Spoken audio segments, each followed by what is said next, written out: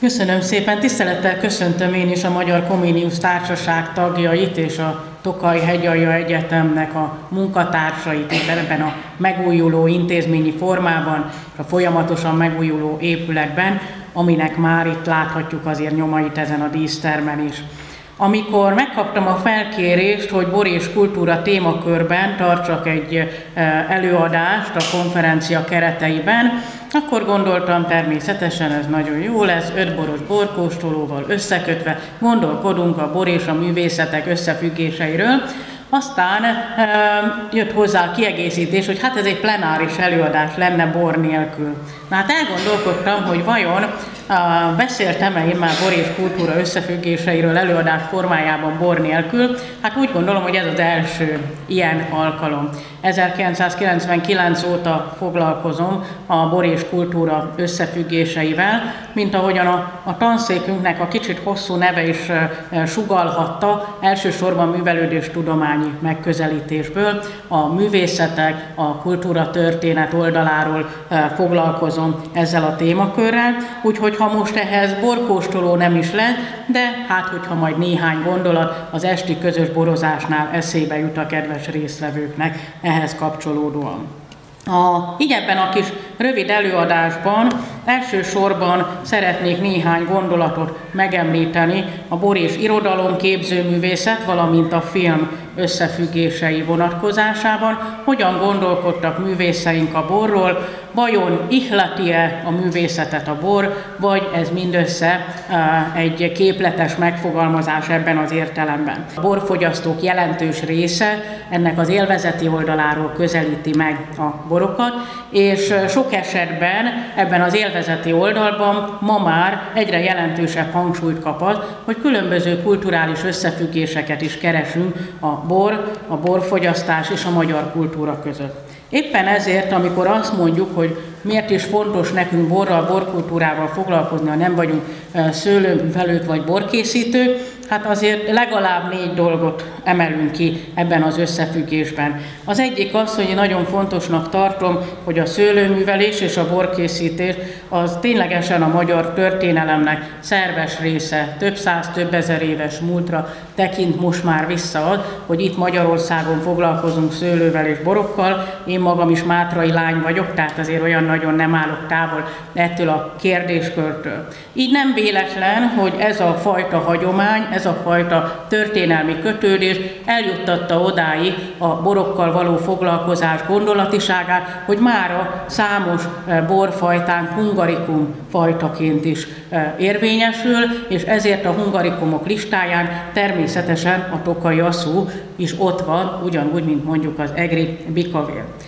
Fontos szempontnak tartom, és nem biztos, hogy mindig mindenkinek eszébe jut, hogy a bornak egy rendkívül erős közösségépítő szerepe van. Ha belegondolunk, maga a szőlőművelés és a borkészítés sem egy olyan szakma, ami egyedül végezhető, ehhez jelentős összefogásra van szükség, családokat, közösségeket, sok esetben településeket kötött össze az, hogy közösen foglalkoztak szőlőműveléssel és borkészítéssel, és másik oldalról én hiszem, és próbálom ezt az oldalát erősíteni a bor fogyasztásának is, hogy a bor fogyasztása is leginkább akkor lesz igazán élvezetes, ha ezt közösségben tesszük, és itt is érvényesülhet ez a közösségépítő hatás. Éppen ezért mindezekből következően már csak történetiségében is a bor és a szőlőhöz való kötődésünk a nemzeti identitásunk része, olyan része, ami hordozza magában azt, hogy ha magyarok vagyunk, a magyar történelemmel foglalkozunk, magyar kultúrával foglalkozunk, akkor ennek ugyanolyan szerves része lesz a bor, és a nemzeti identitásunkat erősíti az, ha ismerjük a magyar borokat, a magyar borvidékeket, és esetlegesen ezeknek a fogyasztásában is a magyar borokat preferáljuk, támogatjuk. Itt ebben a körben, mivel eh, jó pár kolléga, jó pár társasági tag szőlőműveléssel, borkészítéssel foglalkozik, így eh, természetesen ezeket a vonatkozásokat nem fogom eh, említeni, sőt, amikor végig gondoltam, hogy ebben a rövid időben miről tudnék beszélni, bár kezdetben a Biblia anyagaiból indultam ki, de végül egy picit ezt megrövidítettem ezt az előadást, és néhány inkább konkrétumot szeretnék megemlíteni abból, hogy a művészeket hogyan is ihlette meg a bor, hogyan is jelenik meg a bor a különböző művészeti ágazatokban, nem föltétlenül csak Magyarországon, de azért minden egyes témakörben magyar példákra is koncentrálva.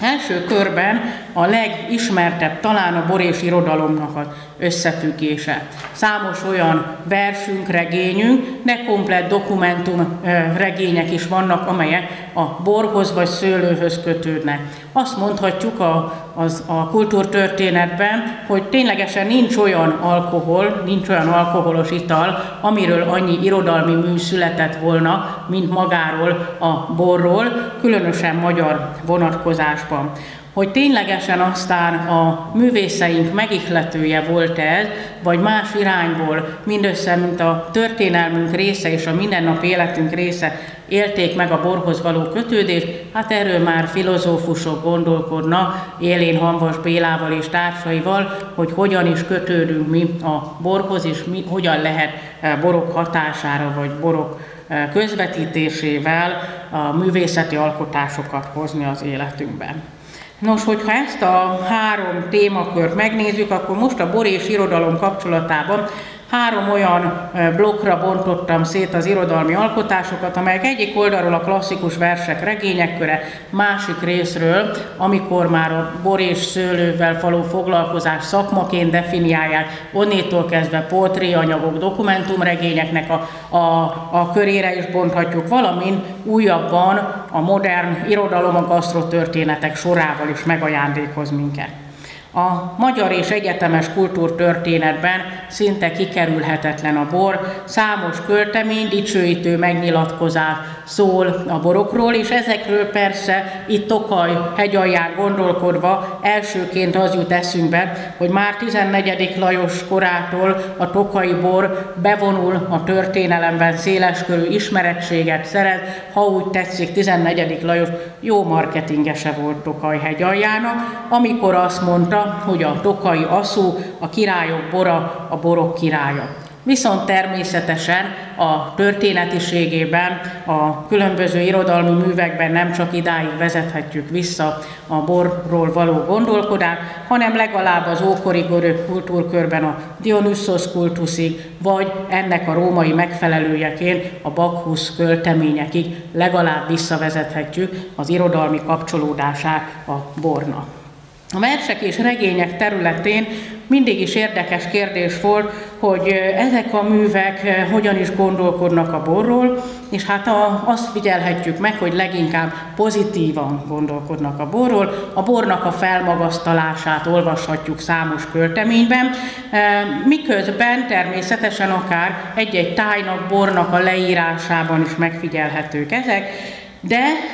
megjelenik az az oldal, hogy vajon ez a mámortadó bor, ez minden esetben pozitív hatással van-e ránk, pozitív hatással van-e a művészekre, a fogyasztóira, az alkohol Isten vagy ördög műve, hogy ezt fogyaszthatjuk a mindennapjainkban. A versek és regények mindezekre választ adnak számunkra, és elgondolkodhatunk ezekről a kérdésekről. Mondjuk olyan klasszikusoknál, mint például Csokonai Vitéz Mihály Szerelemdal a Csikó bőrös kulacshoz című eh, versében,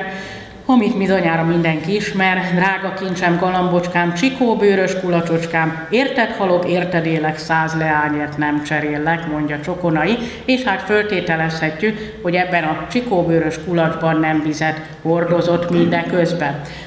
Vannak, akik ezt egyértelműben is kifejezi, például Petőfi Sándornak számos költeményét tudnánk megemlíteni, ami a borhoz kötődik, például az Egyestém otthon című versében borozgatánk apámmal ivott a jó öreg, és a kedvemért az egyszer az Isten áldja meg. Ő sem azt mondja így, hogy a borátok lenne, hanem egy olyan fajta uh, tellemi termékünk, egy olyan, olyan mindennapjainkat megédesítő termék, ami a gondjainkat is előzhet és jókedvre deríthet minket. Ha tovább megyünk ebben, akkor azért fontos megemlítenünk itt a körben mindenképpen Kölcsei Ferencet és a himnuszt,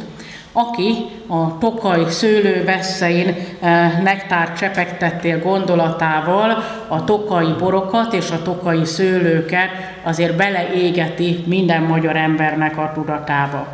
Az, hogy már legenda vagy nem, hogy eredetileg ezek a sorok nem tokajt rejtették, hanem ménes szőlővesszein nektárt csepegtettél, gondolatkörrel jelentek meg, és a ménesi borvidéke eh, jelenítette meg kölcsei, hát ez inkább a legendák sorába köthető. Ma azért úgy gondolom, hogy nincs olyan magyar ember, eh, sem a Kárpát-medencei magyarság, sem a távolabbi magyarság körébe, aki ne ismerné Tokajt a himnuszból. A versek mellett természetesen eh, írókat is meg meg irodalmi műveket is megihletett a, a bor, még akkor is, hogyha ezek hol verses formában, hol regény formájában jelentek meg. Hát például Gárdonyi Géza bor legendája, ha már a legendákról beszélünk, kicsit viccesen próbálja bemutatni azt, hogy hogyan is haladunk a szőlőtől a bor felé. Talán többen ismerik ezt az alkotást is, amikor még kezdetben a szőlőt megkóstolva is már nagyon élvezé Gárdonyi szerint Noé ebben a versben a szőlőnek az ízét, aztán ahogyan ez mustá válik, akkor már elkezd a hatása is érzékelhetővé válni, míg a szőlővé óborrá váló, a szőlőből óborrá váló italtól már Noé pajtásaként kezeli a Jóistent is a versben, tehát ez is egyfajta kifejeződése annak, hogy a bor közösségeket épít, hidakat épít közöttünk e, ilyen módon. És hát egy kedvenc gondolatom, éppen itt a szünetben emlegettem, az, amikor az irodalmi művekben ez egyfajta, mint vágyott álom jelenik meg, a bor és a bornak a nyugalmat adó forrása, és az a fajta gondolkodás, hogy ez egyfajta életünk kiteljesedésében egy jutalom számunkra, amikor például Márai Sándor beszél a borokról, és a Magyar Borok című művében azt írja, és ezzel sokszor egyetértek ezzel a gondolattal, remélem eljutok idáig, a megöregszem pincét akarok. Ezt már szilárdan elhatároztam. És hát ugye, hogy ebben a, a pincében mi is jó számunkra, és hogyan fog itt élni már, erről ír a későbbiekben. És ebben is egy nagyon erős közösségépítő hatás figyelhető meg, mert hogy Mára is sem egyedül szeretne majd ott a pincében iszogatni, hanem úgy gondolja, hogy ide a jó barátaival összegyűlik, és itt meg tudja vitatni az életnek a fontos dolgai, és ezekről tudnak beszélgetni.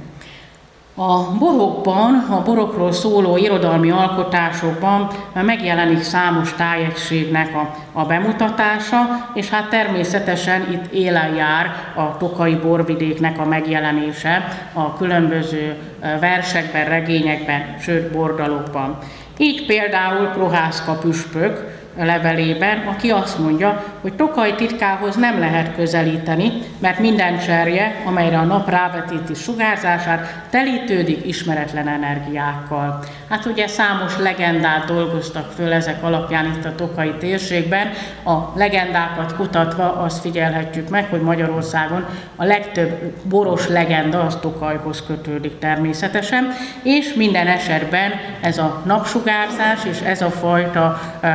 olyan plusz, ami semmelyik más borvidéken nem érhető el, számos legendánkban megjelenik. De például Petőfi is többször megnevezi a Tokai térsége, és itt például a Tokai hegyre, a Tokai hegyaljai térségre gondolva azt mondja, hogy itt laknak az öröm istenei, innen küldik szét a világba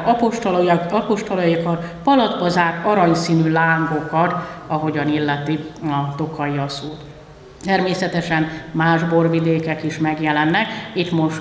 erre a helyszíne való tekintettel különösebben nem szánok időt, de ugyanúgy mondjuk az Egri borvidék, vagy ugyanúgy e, sokan bár észre sem veszik, de a Noszti fiú esete Tóth Marival című regényben megjelenik a Somjói e, borvidék, tehát számos irodalmi műt megihletett a bor, és egy-egy borvidéknek a komplexitása, amiben természetesen a szőlő, a kádármestereknek a munkássága, az itt élő embereknek a lelkülete, a precizitása, a gondos munkája ugyanúgy hozzájárult ehhez a, a történethez. A egy-egy ihletet, regény és versen kívül azért komplet műveket is olvashatunk a borokról, úgyhogy itt engedjék meg, hogy egyfajta irodalmi ajánlóként ajánljak néhány olyan könyvet, ami kifejezetten a borokról szól. Az egyik ilyen Márai Sándornak a boros könyve, amiben minden borvidékről és borról ír ebben, bár ő rögtön úgy kezdi az egyik fejezetét, hogy régi és elterjedt babona hogy az alkohol a költői ihletet szolgálja. Tehát ő úgy gondolta, hogy nem föltétlenül a költői ihlethez szükséges az alkohol, ez nélkül is megszületnek a, a nemes művek, de azért a későbbiekben, hogyha végigolvassuk a könyvet, azért érzékelhetjük, hogy Márainak igencsak pozitív kötődése volt a borokhoz. Nagy például már emlegetett Hanvas Béla Bor filozófiája című kötete, aminek a címadó mottója, amikor azt mondja, hogy végül is ketten maradnak Isten és a bor, az életünkben ez az a két dolog, ami végig kíséri az életünket és támogat minket mindenféle örömünkben, bánatunkban. És hát ehhez kapcsolódóan kifejti magvas gondolatait, amiben az ivás törvényét is megadja, és hát ezt széles körül sokan szerették utána népszerűsíteni ezt a gondolatot. A modern mesékben is megjelennek a boros történetek, természetesen nem csak klasszikus irodalmi művekben, hanem a Bormámor Provence kötetben éppen úgy, mint Tompa Imre Hogyan legyünk alkoholisták című művében, amivel egy kicsit elindította és támogatta azt a fajta mozgalmat is, amit egy picit szoktunk viccesen mondani, miért is fontos nekünk ismerni a szőlőművelésnek, borkészítésnek az alapjait, miért is fontos nekünk ismerni legendákat, történeteket a borról, Hát azért, hogy művelt alkoholisták legyünk, mondja. Úgyhogy ez a fajta gondolatvilág azért már odáig jutott, hogy külön blogja is van a művelt alkoholistáknak, és valóban egy nagyon tartalmas, tehát szakmailag is elfogadható tartalmakkal rendelkező internetes portált működtetnek erről.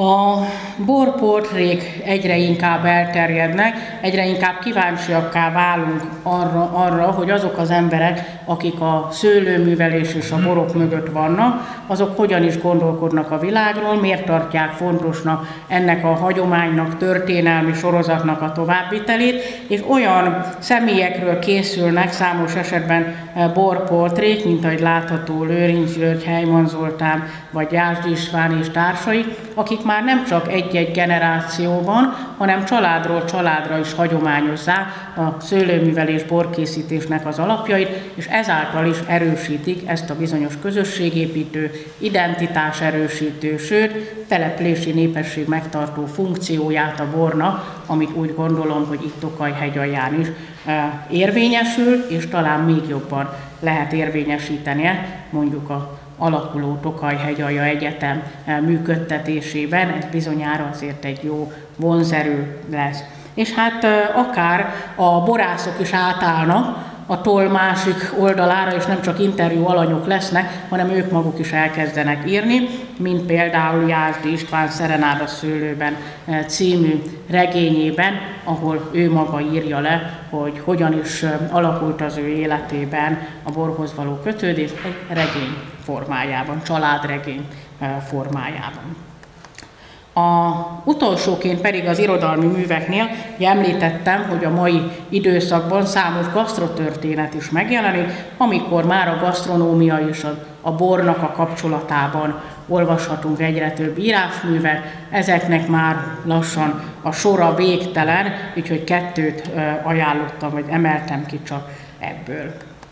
Na és akkor néhány gondolatot a képzőművészetről. A képzőművészet itt van körülöttünk, és sok esetben észre sem vesszük, hogy mennyi utalást tartalmaz a szőlőre és a borra vonatkozóan. Ténylegesen a bor szeretetét én úgy gondolom, hogy egyértelműen ilyen művészeti alkotásokkal is lehet emelni. Be lehet azt mutatni, hogy a bor és a szőlő a mindennapi életünk része, és ezt ilyen módon is kell kezelnünk, ahogy említettem a történelmünk folyamán. Egészen odáig ebben eljutunk, hogy természetesen itt is átfordul a történet, és nem csak képzőművészeti alkotásokon szerepelnek ma már a szőlő és a bor különböző megjelenítései, hanem fordítva a bor is elkezdi népszerűsíteni a képzőművészetet, azáltal, hogy például egyre több címkén jelennek meg képzőművészeti alkotások. Néhány példát mutatnék be ezekhez kapcsolódóan, hogy hogyan is alakulnak ezek a témakörök. Ugye már az ókorban szeretjük minden történelmében említeni, így a bor és szőlővel való foglalkozás és a képzőművészet összefüggéseiben, hogy már az ókori művészetben is megjelenik, látható itt például ezen a, a freskón is a szőlőnek a a megjelenése, sőt a szőlő préselése, és vélhetően ezekben a cserépedényekben pedig a végterméknek, a bornak a tárolása. A klasszikus művészetben a Dionysos kultusz, kultusz nagyot lendíte a képzőművészeti alkotásoknál a borfogyasztás ábrázolásában, így akár a hellén vázáktól kezdődően a komplet uralkodói palotáknak a, a mennyezetéig vagy oldalfaláig dísz dekorált bor és szőlészeti alkotásokkal található. Itt látható egy Dionysoszi megjelenítés is, mozaikokon is előszeretettel alkalmazták ennek a, a megjelenítését. És abban az időszakokban, amikor a szőlőtermesztés háttérbe kerül hanyatli különböző más irányú, sok esetben uralkodói, vezetői döntések hatására, akkor lesznek olyan rétegek, akik fenntartják ezt a fajta szőlőművelést és borászatát, borászkodást, így például a szerzetesség, és ennek a megjelenítése is megfigyelhető számos művészeti alkotásban. A szobrászatban leginkább a reneszánsz művészettől kezdődően tapasztalhatjuk meg a szőlőnek vagy a bornak a, a megjelenítését. Így például Bakhuszról számos alkotás készül, de e, ilyen módon ezután már szinte minden időszakban, minden művészettörténeti korszakban megfigyelhető, és a barokk művészetben, amikor bejön a csendélet ábrázolás, ott kiemelt szerepet kap a csendéleteknek a a, a rajzaiban, festményeiben a szőlőnek és a bornak a megjelenítése, mint ezeken a képeken is. A klasszikus művészetektől való távolodásban a modern művészetek megjelenítései sem nélkülözhetik ezeket az alkotásokat. Látható például itt egy Miró alkotás, amiben sok esetben sok mindent nem tudunk pontosan kivenni, csak gondoljuk, hogy mi lehet az, de azért a boros üveg az egész jól kivehető, tehát az azért a maga fizikai valóságában ábrázolódik ezen. Hát ahogyan a, haladunk a képzőművészet kezdeteitől napjainkig, szinte végtelen az a fajta felsorolás, amiben megjeleníthetjük ezeket a festményeket, szobrokat, amik a szőlő, szőlőművelés, bor, borkészítés, borfogyasztás ábrázolják a különböző időszakokban, és ezeknél számos esetben nem csak festmények, szobrok, hanem komplet belső tereknek a, a burkolata is viselik ezeket a, az a elemeket. Természetesen a magyar festészet sem nélkülözi ezeket a kellékeket, és talán a legismertebb festmény, ami megjelenik a bor, az Színyei Mersepál majálisának a piknikjén. Nem biztos, hogy sokan eddig megfigyelték, de most már megfigyelhetjük, hogy ott van középen a boros üveg és a boros pohár, tehát egy jó pikniknek a kellékei ezek is. Természetesen itt is megjelennek a csendéletekben ezek a, az ábrázolások, és a látképeknél is előszeretettel alkalmaznak különböző szőlődomboknak a, a, az ábrázolását, látványosan ábrázolható egy-egy térség a szőlődombok irányából, és vannak olyan alkotások is, amik meg is nevezik magát az, az italt, uh, itt például egy riprónai alkotásban, de ezeknek is számos uh, sora figyelhető meg, vagy például egy belső térre való utalás a Dölamotte kastélynak a, a belső felületein, ahol megjelenik a bornak a fogyasztása, az ettől való lerészegedés és a másnapi hát, gyógyítása a, a, az embernek azáltal, hogy a másnaposságot egy kicsit jobban kiheverje. Tehát akár ilyen módon komplet belső tereket is burkolhatnak szőlő és bor alkotásokkal. És akkor eljutottunk a túloldalára ennek a történetnek, hogy hogyan jelenik meg minden címkéken. Például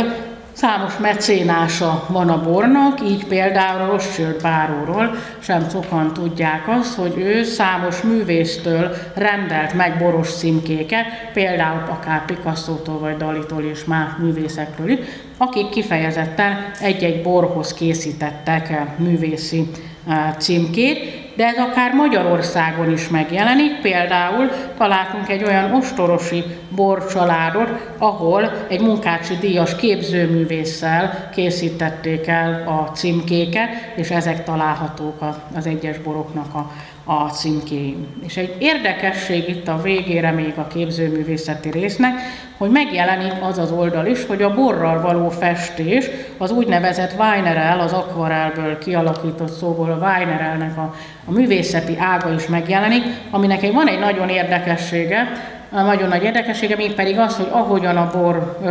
szárad ezeken a festményeken, ahogy a festmény öregszik, elkezd változni a festmény színein, és gyakorlatilag évről évre más színkompozícióban láthatjuk ezeket a borral festett